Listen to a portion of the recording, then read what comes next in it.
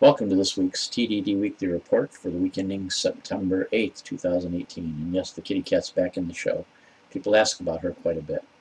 She, I don't know why, but anytime I turn on the camera, as soon as the green light comes on, she has to be like right here in front of the camera. But we'll deal with it.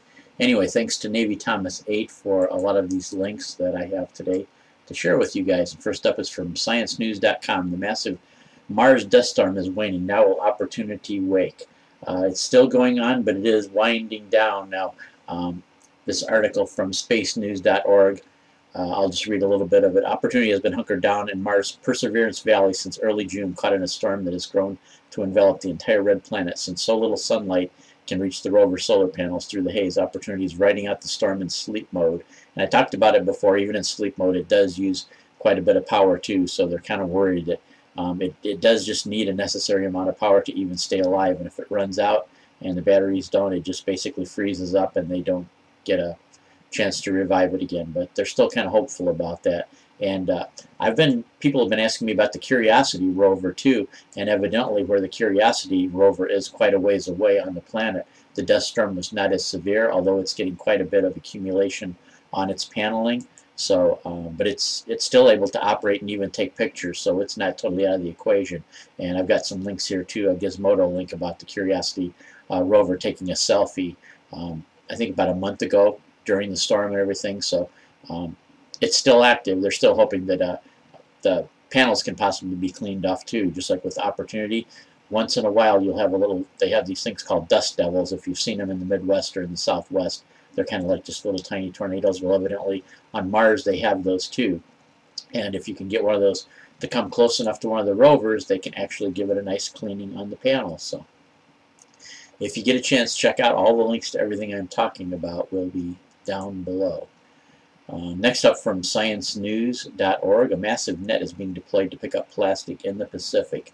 This is a really giant net, it's 600 meters long. That's, uh, what, I don't know, 612 uh, 18, about 2,000, maybe 2,000 feet long or more, and it's kind of curved too, so it um, can kind of help with the, what do you call it, the currents flowing in, giving it a curved structure to kind of trap more of the stuff.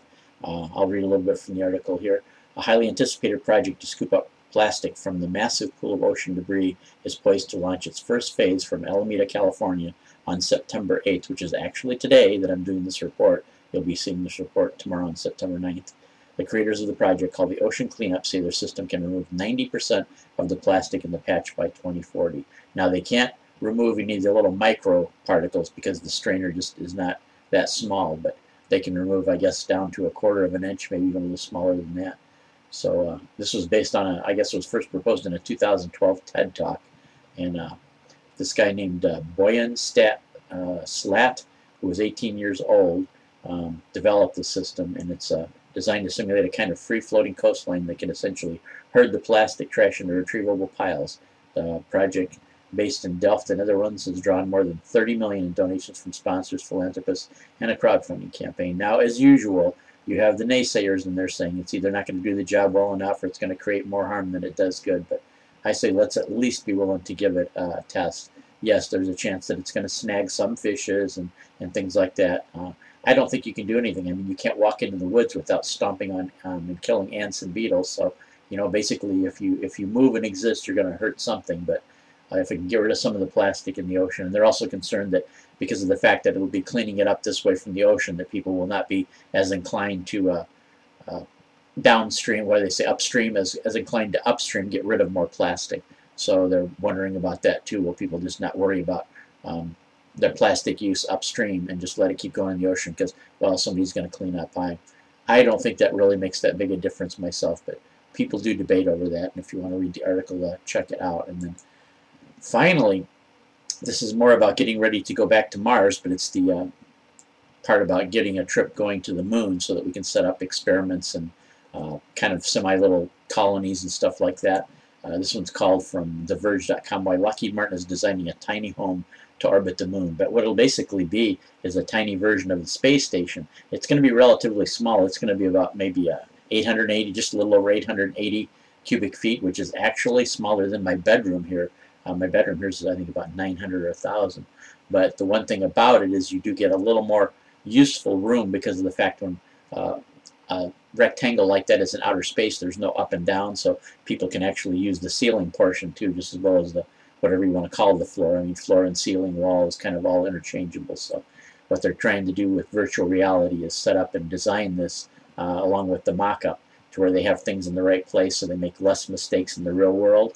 And they even uh, have a video you can watch here too where the um, reporter goes into a uh, virtual reality, uses the virtual reality mask and actually gets to explore some of the space station. Now, uh, you think with it being that small, when you take a look at it and see the video, you're thinking, well, this is just kind of like a little open rectangle uh, with some sleeping bunks. Where you go to the bathroom? Where, where you actually go to the bathroom is the uh, Orion capsule that uh, takes the astronauts to the space station, to the mini space station. The Orion capsule itself has a built-in bathroom because obviously it's going to take several days to uh, get to this uh, space station. So yeah, the Orion capsule is actually built with that in mind. So if you want a little bit of privacy, which you will have, you go into the Orion capsule that's attached to the station, and then you uh, do your business there in private. So, yeah, if you want to get a chance, not just Lockheed Martin. Now they did this. Uh, they interviewed Lockheed Martin, but not just Lockheed Martin is in the running for this. You've got uh, uh, Northrop Grumman, you've got Boeing, and you've got three other aerospace companies all competing with different ideas for the small space station. And I don't really see any of them being much larger than this unless they come up with some innovative design or something like that because I mean you've got to carry this all the way up in outer space and all the way to the moon so you can't make it easily or cost effectively be as big as the International Space Station is right now. I mean it would be nice if you could give astronauts that much space but I just don't think it's practical or cost affordable so uh, first part of this is a crucial piece of hardware needed for this gateway will of course be habitat spaces for a handful of astronauts to do research. I think they're thinking up to four on this exercise, sleep, and eat. But what exactly does it take to build a habitat for deep space? NASA has tasked six companies with figuring that out, although the Space Agency's Next Step program, um, through the, uh, the Space Agency's Next Step program, through a private, public-private partnership, companies like Boeing and Bigelow Aerospace are creating and executing their own designs for models that could house the astronauts in the environment around the moon. So yeah, I guess it is best to probably test out these kind of habitats uh, when you got astronauts only two or three days away rather than uh, do the first test when you're on Mars, which could be you know months and months away, you know half a year possibly. So probably a good idea. So anyway, that's it about it for this week. I will catch you guys in uh, two more weeks. Take care.